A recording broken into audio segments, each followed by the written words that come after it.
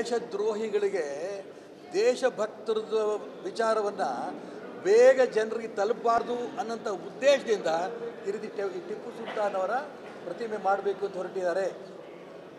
ಕೆಂಪೇಗೌಡರು ಇಡೀ ದೇಶಕ್ಕೆ ಆದರ್ಶ. ಟಿಪ್ಪು ಸುಲ್ತಾನ್ ಇಡೀ ದೇಶಕ್ಕೆ ದೇಶದ್ರೋಹಿ ಅನ್ನೋದ್ರಲ್ಲಿ ದಿಕ್ಕಿನಲ್ಲಿ ಆ ಹೆಸರು ಪಡೆದಿರೋದು ಕೆಂಪೇಗೌಡರ ಆದರ್ಶವನ್ನು ಜನ ಪರಿಪಾಲನೆ ಮಾಡಬಾರ್ದು ಅನ್ನೋಂಥ ಉದ್ದೇಶದಿಂದ ಕೆಲವು ದೇಶದ್ರೋಹಿಗಳು ಟಿಪ್ಪು ಸುಲ್ತಾನ್ ಬಗ್ಗೆ ಈ ರೀತಿ ಮಾತಾಡ್ತಾರೆ ಈಗ ಕೆಲವರಿಗೆ ಧರ್ಮವನ್ನ ಉಳಿಸೋದ್ರ ಮುಖಾಂತರ,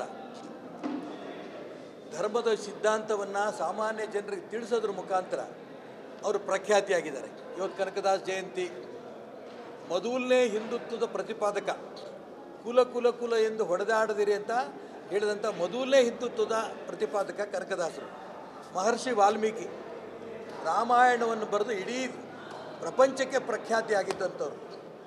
ಆದರೆ ವಾಲ್ಮೀಕಿಯ ರಕ್ತವನ್ನು ಹುಚ್ಕೊಂಡು ಹಂಚಿಕೊಂಡು ಹುಟ್ಟಂಥ ಸತೀಶ್ ಜಾರಕಿಯವಳು ಈ ರೀತಿ ರಾಮಾಯಣಕ್ಕೆ, ಮಹಾಭಾರತಕ್ಕೆ, ಈ ದೇಶದ ಸಿದ್ಧಾಂತಕ್ಕೇ ವಾಲ್ಮೀಕಿ ಅವ್ರಿಗೂ ಕೂಡ ಅಪಮಾನ ಮಾಡ್ತಾ ಇರೋಂಥ ವ್ಯಕ್ತಿ.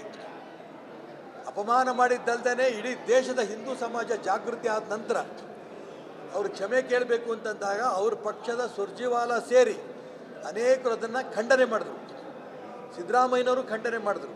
ಆದರೂ ಕೂಡ ಮರ್ಯಾದೆ ಇಲ್ಲದಂಥ ಸತೀಶ್ ಜಾರಕಿ ಜಾರಕಿಹೊಳಿ ಅವರು ಅವರೆಲ್ಲರೂ ಒತ್ತಾಯ ಮಾಡಿದ್ರು. ಅವ್ರ ಒತ್ತಾಯಕ್ಕೋಸ್ಕರ ನಾನು ಕ್ಷಮೆ ಕೇಳಿದೆ ನಾಚಿಕೆ ಗೇಡನ್ನು ಹೇಳಿಕೆ ಕೊಟ್ಟಿದ್ದಾರೆ. ಈಗಲೂ ನಾನು ಅವ್ರಿಗೆ ಹೇಳೋಕ್ಕೆ ಇಷ್ಟಪಡ್ತೇನೆ, ನಿಮ್ಮ ಕಾಂಗ್ರೆಸ್ ಪಕ್ಷದ ರಾಷ್ಟ್ರೀಯ ನಾಯಕರುಗಳಿಗಿಂತ ದೊಡ್ಡ ಮನುಷ್ಯನ ನೀನು? ಜನ ಇದನ್ನು ಹಿಂದೂ ಅನ್ನೋದು ಇಡೀ ದೇಶದಲ್ಲಿ ಚರ್ಚೆ ಆಗ್ತಾ ಇದೆ. ಹಿಂದುತ್ವದ ಬಗ್ಗೆ ಇಡೀ ದೇಶದಲ್ಲಿ ಚರ್ಚೆ ಆಗ್ತಾ ಇದೆ. ಹಿಂದೂ ಮತ್ತು ಹಿಂದುತ್ವವನ್ನು ಯಾರು ಅಪಮಾನ ಮಾಡ್ತಾರೋ ಅವ್ರಿಗೆ ಈ ದೇಶದಲ್ಲಿ ಸ್ಥಾನಮಾನ ಇರಲ್ಲ. ಹಾಗಾಗಿ ಮನಸಾರೆ ನಾನು ಮಾಡಿದ ತಪ್ಪು, ಮನಸಾರೆ ಮಾಡಿದ್ದಕ್ಕೋಸ್ಕರ ನಾನು ಕ್ಷಮೆ ಕೇಳ್ತೀನಿ ಅಂತ ಮಾತನ್ನು ದೇಶದ ರಾಜ್ಯ ಜನರ ಮುಂದೆ ಅವರು ಕ್ಷಮೆಯಾಚನೆ ಮಾಡಲಿಕ್ಕೆ ಒತ್ತಾಯ ಮಾಡ್ತೇನೆ.